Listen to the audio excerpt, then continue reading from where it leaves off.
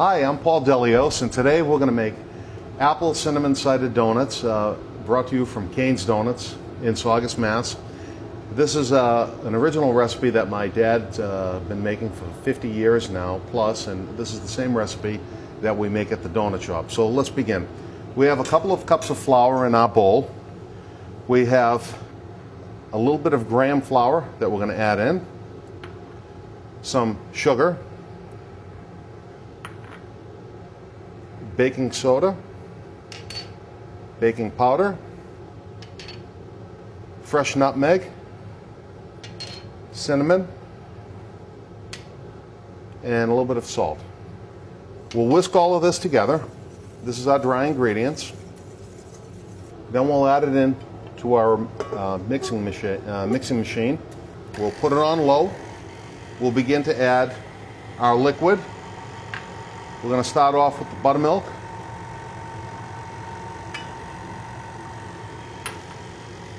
We'll add our melted butter, the apple cider, fresh from the farm, vanilla, and then we're going to add our egg yolks. It's as simple as that. We'll scrape the bowl down by hand just to make sure that we have everything well incorporated in the bottom of the bowl. Give it a couple of turns.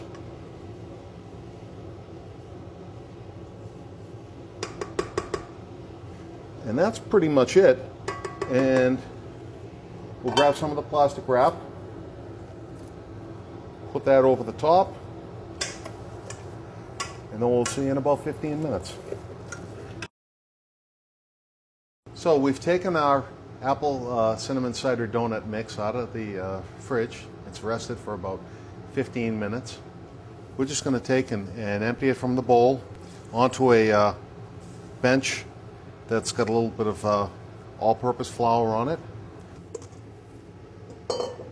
Okay, now going from the plastic scraper, you want to have one of these items. This is just a, a bench scraper. You can get it in any uh, kitchen store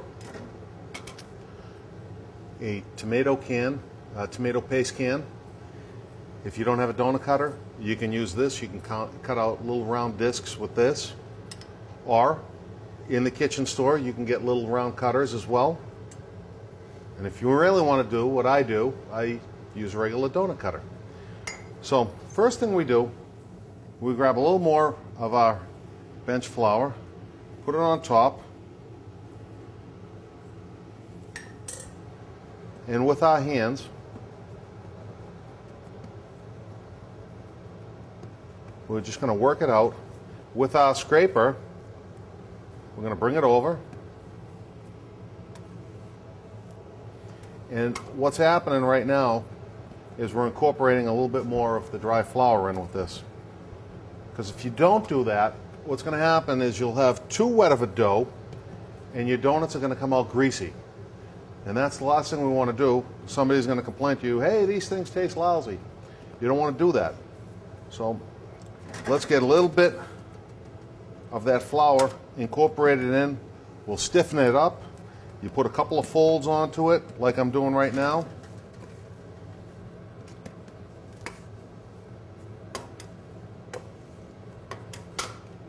And you can see it's, it's become a lot more uh, rigid. and we'll take our rolling pin. A lot of people have trouble sometimes. The rolling pin will stick a little bit. Just dip your hand in a little bit of the flour, rub it on the pin, roll it out. You want to get this dough out to probably about a half of an inch in thickness. Now that we've done that, we're going to take a little bit more flour, put it on the top. We're going to take our cutter Make sure you put the, the cutter in with a little bit of flour because we don't want that to stick. And remember, we're working with a wet dough.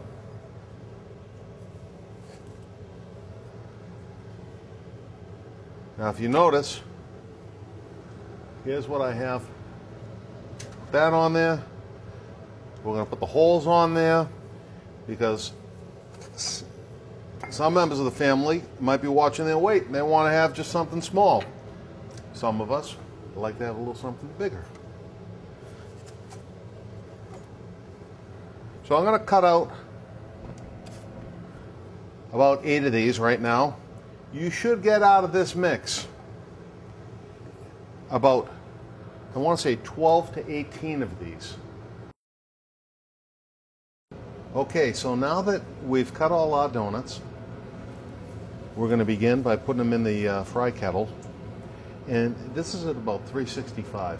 And again, if you have this at home, you, you know you might you might be uh, taking a little bit longer because it's on top of the stove, and depending on what the application is, this generally takes a couple of minutes per side on these uh, what we call cake style donuts. And um, at home, it could take you maybe another 30 seconds to a minute longer on each side. Don't be afraid. Let them cook. Let them get a little crispy. They're meant to get crispy. You just don't want a raw donut inside. Otherwise, you'll hear them complaining at the table. Lay them down right in the basket. Now hold them right above the shortening. Kind of float them in there. You don't want to submerge them all the way in. You could, but you're not going to get the little square marks on them that we're looking to get. And what's going to happen with those square marks, that's what's going to allow you uh, a, a place for your cinnamon sugar. It's the nooks and crannies that your cinnamon sugar is going to catch in. And that's what we're looking for. We want to have a little bit of that crunch from the donut, a little bit of the crunch from the cinnamon sugar sitting inside those nooks and crannies.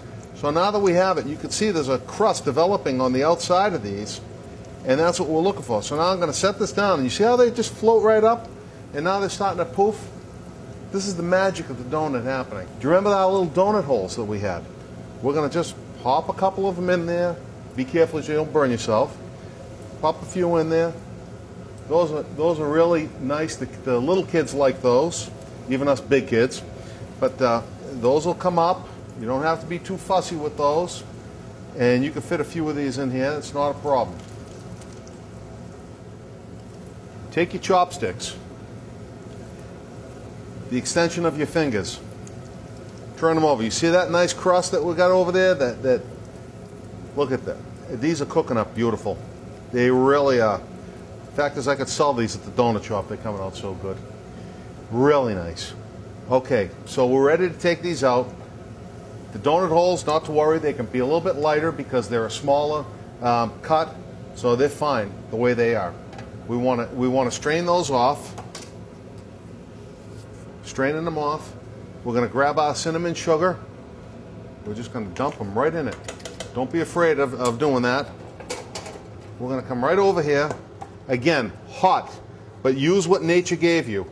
She gave you, Mother Nature gave you these nice fingers. Use them. Sprinkle that cinnamon sugar over them. See what I'm doing here? I'm sprinkling that cinnamon sugar right on top. Oh, look at that. Look at. Okay, here we are. Apple cinnamon cider donuts. Our recipe from Kane's. And don't forget, when you've got some scrap dough left over, don't be afraid to turn them into some crullers. It's a good old-fashioned New England dessert.